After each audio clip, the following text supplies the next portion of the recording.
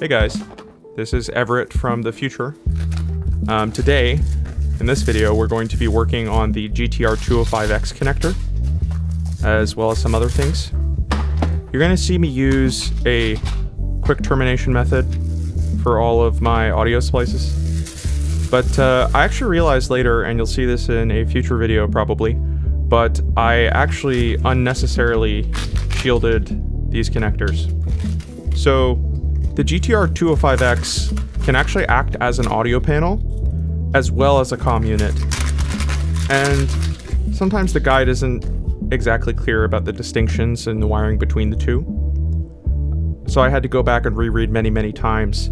Uh, and when you're wiring a GTR 205X as an audio panel, you terminate your audio connections, the shield for it, at the GTR 205X side. But when it's acting as a comm unit, you only want to terminate the shields at the audio panel side.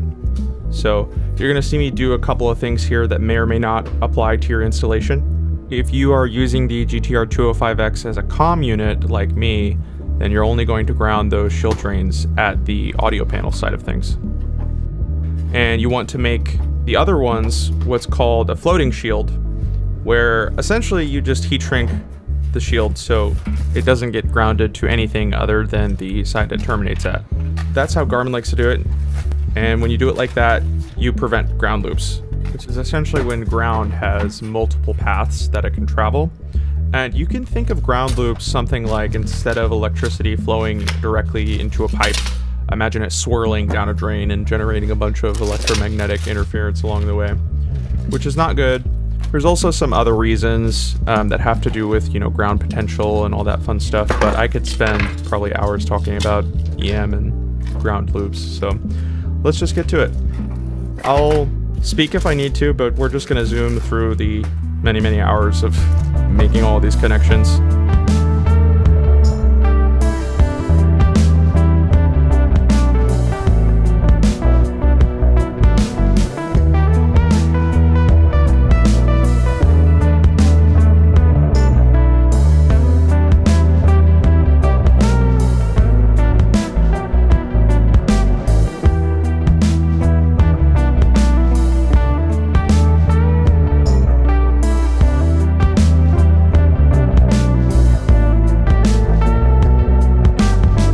Yeah, you're really not supposed to use a lighter for heat shrink tubing, but uh, you really do appreciate being able to work on an experimental aircraft when you forgot both of your heat guns in the hangar and forgot to bring them home.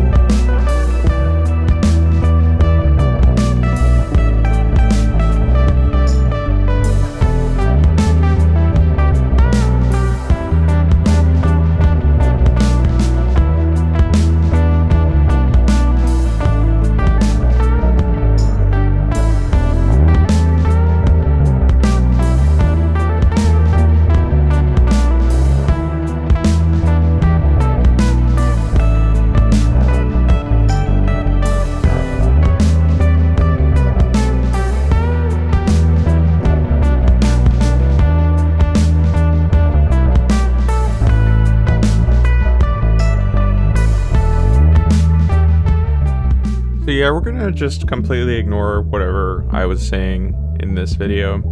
Uh, because I did all of that fancy, you know, putting all the silicone tape on there, but I actually ended up needing to take this connector completely apart. So I did a lot of this work. Not for nothing per se, because a lot of those wires I did end up just removing the pins and reusing in a different connector or even the same connector.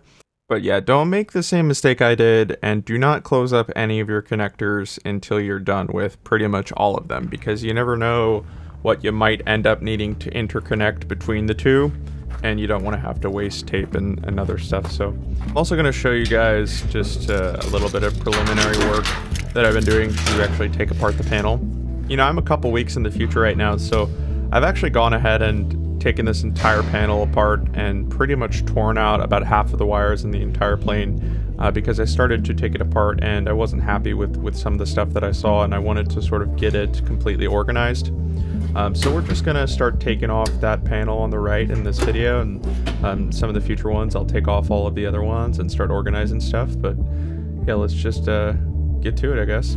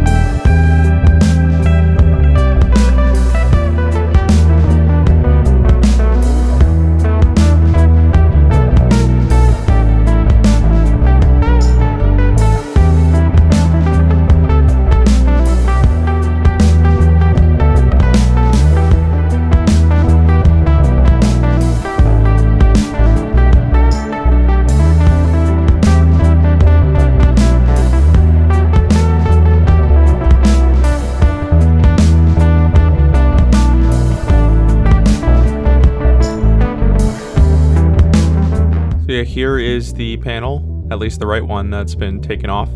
And we're just going to call it a day for now. So definitely stay tuned. There's going to be a lot more wiring videos soon. And I think you guys are really going to enjoy it. See you around.